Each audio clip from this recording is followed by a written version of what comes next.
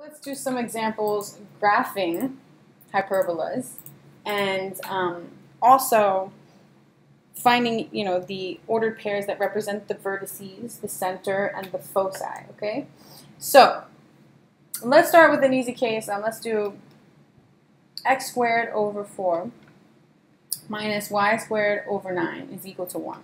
And I go, well, graph this, give me this information, give me that information, you know, blah, blah, blah, from this equation.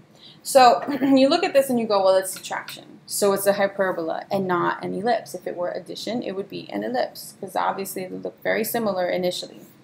So this is a hyperbola. So that's my first step, right? Is it a hyperbola? Is it an ellipse? Is it a circle? What is it?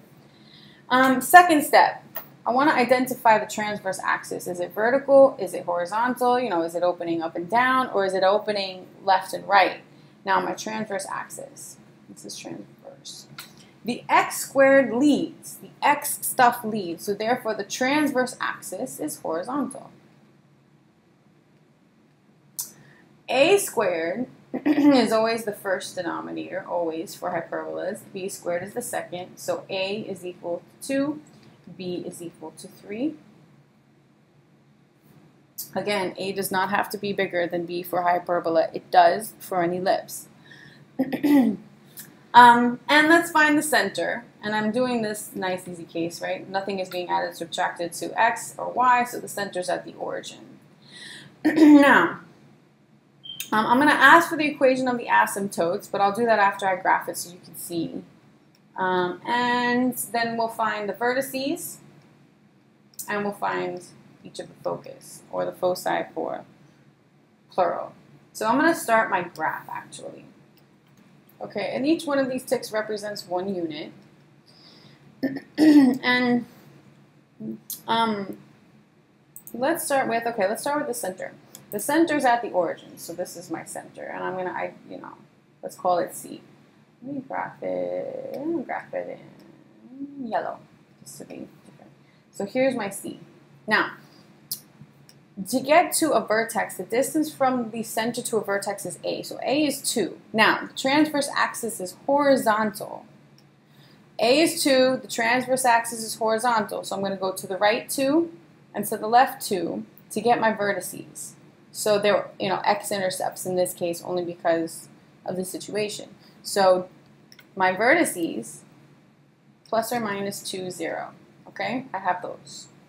Now, Let's finish the graph. B is equal to 3. Again, B is not part of the graph, but B is going to help me determine that box that will help determine my asymptotes, that will help determine how wide my hyperbola opens up.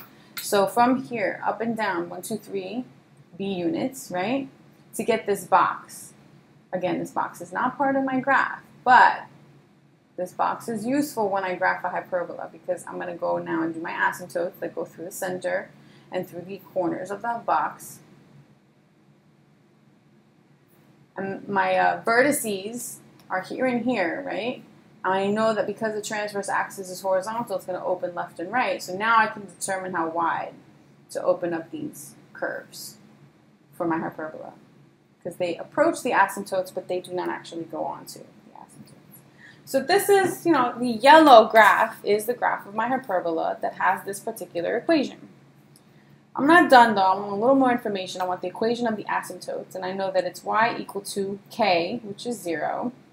I'll show that, plus or minus something, x minus 0, h. So is it b over a or a over b here?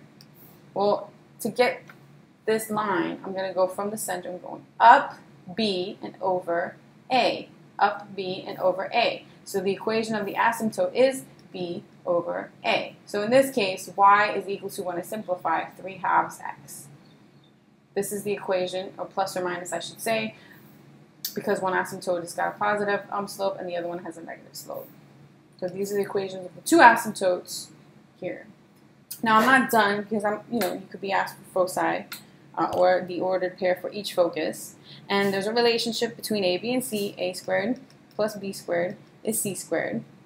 So a squared is 4 plus b squared 9 is c squared. So c squared is 13. So c is equal to the square root of 13 plus or minus square root of 13. Now let me put that on my graph. I'll put it in red. Now the square root of 13 is um, between 3 and 4, so it's a little bigger than 3. Um, uh, yeah, a little bigger than 3, maybe closer to 4. Um, roughly sketching anyway.